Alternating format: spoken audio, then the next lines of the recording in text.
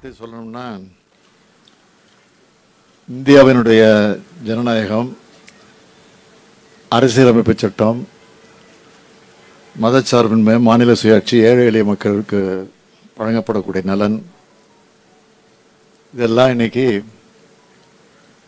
மிகப்பெரிய இந்தியாவை பொறுத்த வரைக்கும் மிகப்பெரிய நெருக்கடியில் சிக்கி தவிச்சுக்கிட்டு இருக்கு. சர்வாதிகாரம் ஒற்றைத்தன்மை தேவச்சதிகாரம் அதிகார குவியல் இதில் சிக்கி இன்னைக்கு இந்த நாடு சிதையுண்டு போய் கொண்டிருக்கிறது. அதனால் அப்படிப்பட்ட மத்தியில் இருக்கக்கூடிய பாரதிய ஜனதா கட்சியை தோற்கடிக்க வேண்டும் என்பதற்காக வருகிற ரெண்டாயிரத்தி இருபத்தி நாலு மையமாக வச்சு பாராளுமன்றத்தில் அந்த வெற்றியை பெற வேண்டும் என்பதற்காக இந்தியாவில் இருக்கக்கூடிய பல்வேறு மாநிலத்தை சார்ந்த எதிர்க்கட்சிகள் எல்லாம் ஒன்று சேர்ந்திருக்கிறது. அதனுடைய முதல் கூட்டம் பாட்னாவில் நடந்தப்போ பதினாறு கட்சியினுடைய தலைவர்கள் கலந்து கொண்டாங்க. இன்னைக்கு நே- நேற்றும் இன்றும் நடந்த பெங்களூரில் நடந்த கூட்டத்தில் இருபத்தாறு பேர் பல்வேறு கட்சியத்தினுடைய தலைவர்கள் கலந்து கொண்டு பேசியிருக்கிறாங்க. தமிழ்நாட்டில் எப்படி கூட்டணி அமைஞ்சு வெற்றியை பெ- தொடர்ந்து பெற்று கொண்டிருக்கிறோமோ அதேபோல் இந்தியா முழுமையும் இது போன்ற ஒரு கூட்டணி அமைந்து அந்த வெற்றியை காணுவதற்கான வியூகங்கள் எல்லாம் வகுக்கப்பட்டிருக்கிறது. ஆக அகில இந்திய அளவில் கொள்கை கூட்டணியாக மாநில அளவில் தேர்தல் கூட்டணியாக இது அமைய கூடிய ஒரு சூழ்நிலை உருவாகியிருக்கு. பாட்னாவிலையும் அதை தொடர்ந்து பெங்களூரில் நடந்திருக்கக்கூடிய இந்த கூட்டத்தை பொறுத்த வரைக்கும் என்னை பொறுத்த வரைக்கும் ஒரு பெரிய மகிழ்ச்சி எனக்கு கிடைச்சிருக்கு.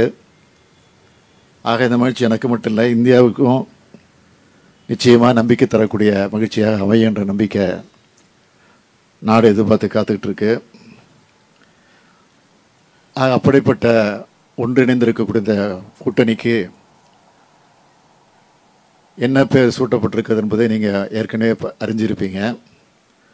இந்தியா அதாவது Indian National Developmental Inclusive Alliance அப்படிங்கிற அடிப்படையில் அந்த பேர் அமைக்கப்பட்டிருக்கு. அடுத்த கூட்டத்தை பொறுத்த வரைக்கும் மும்பையில் நடத்துவதாக முடிவெடுத்திருக்கிறோம். அப்படி நடக்கக்கூடிய அந்த கூட்டத்தில் அடுத்த கட்ட நடவடிக்கை குறித்து அதில் பேசப்படும் என்பதை தெரிவித்துக்கிறேன். ஆகவே ரெண்டாயிரத்தி இருபத்தி நாலை பொறுத்த வரைக்கும் ஒரு புதிய இந்தியாவாக உருவாகும். அது அந்த அப்படிப்பட்ட ஒரு ஆண்டாக தான் அது அமையும். அதற்கு உங்களுடைய ஆதரவும் ஒத்துழைப்பும் தொடர்ந்து இருக்க வேண்டும் என்று கேட்டு முடிச்சுக்கிறேன். நம்புறீங்களா?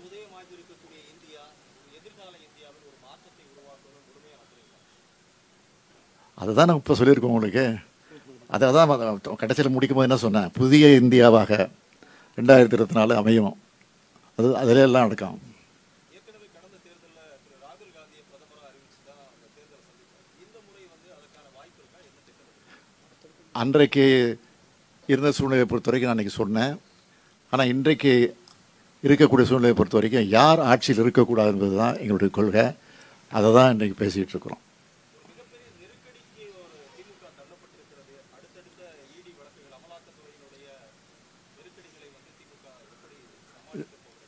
இதெல்லாம் எதிர்பார்த்த ஒன்று தான் இன்னும் போக போக இன்னும் பல கொடுமைகள் நடக்கும். அதையும் சந்திக்க தயாராக இருக்கிறோம். அதுலேயும் நிச்சயம் வெற்றி காண்போம். எல்லாத்தையும் நாங்கள் சட்ட ரீதியாக சந்திப்பதற்கு தயாராக இருக்கிறோம்.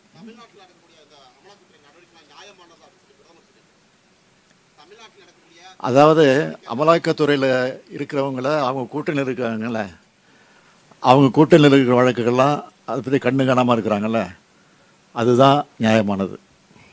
அவரை பொறுத்த வரைக்கும் திமுக ஒரு ஊழல் கட்சி எதிர்க்கட்சியெல்லாம் ஒன்று சேர்ந்து அவங்க ஆதரவு தெரிவிக்கிறாங்க இன்னைக்கு நடந்துக்கிற கூட்டத்தில் பக்கத்தில் யாராவது உட்கார வச்சிருக்காங்க பார்த்தீங்களா அவரால் குற்றம் சாட்டப்பட்ட அவரால் ஊழல்வாதிகள் என்று சொல்லப்பட்டவங்கள்லாம் இன்னைக்கு அந்த கூட்டணியில் இடம்பெற்றிருக்கிறாங்க. அவங்கள அரவணைச்சிக்கிட்டு இருக்கிறாரு. அவர் வந்து இதை சொல்வது வேடிக்கையாக இருக்குது